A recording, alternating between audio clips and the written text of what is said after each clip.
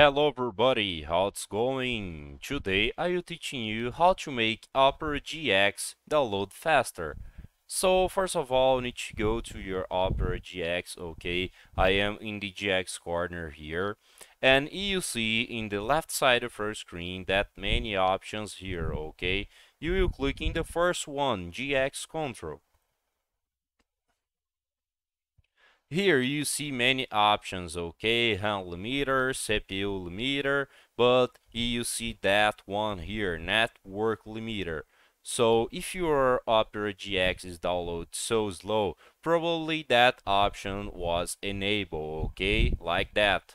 So what you can do is just disable that option and your Opera GX will not limit your download speed, okay? I hope I can help you with this video. If you like, don't forget to subscribe in our channel and hit the like button. See ya!